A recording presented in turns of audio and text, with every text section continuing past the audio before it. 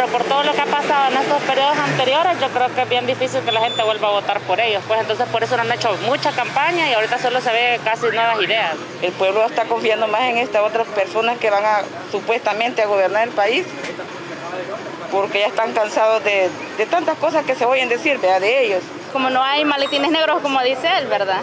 Entonces, no es como que esté las cosas eh, a favor de ellos, sino que ven que es para el pueblo. Entonces, por eso es que veo que están en contra del presidente. Como patadas de ahogado, ¿no?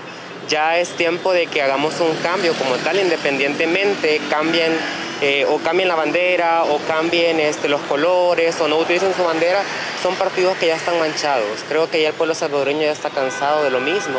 Tenemos tantos gobiernos de arena, tantos gobiernos del frente. Díganme qué han hecho. Este, hoy en las elecciones este, se han dado un poco de color ellos, que se han pacificado, queriendo dar el bienestar a la gente y en realidad no, no pueden cubrir muchas cosas que han hecho. Señalar que porque vamos a registrar los votos de manera digital a través de una laptop, vamos a cometer fraude. Este tribunal está empeñado en hacer elecciones justas, transparentes, que es lo que estamos buscando con este sistema informático, y expeditas que también que se den resultados más pronto.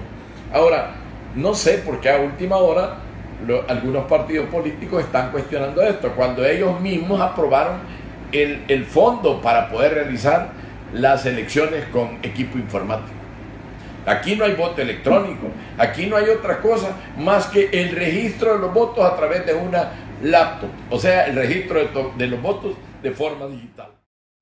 Dale like y suscríbete a este canal. Siempre traigo videos como estos y mejores con ese toque salvadoreño que tanto nos gusta. Comparte para que más salvadoreños se den cuenta de esta noticia. Dale like a mi página Douglas SB. Ahí aviso cuando subo un nuevo video y también comparto una que otra cosita salvadoreña. También te invito a que me sigas en Instagram, arroba Douglas-bajo. Ahí también aviso cuando subo un nuevo video, pero es un poquito más personal ya que ahí subo fotos mías y demás. Nos vemos hasta la próxima. Adiós medio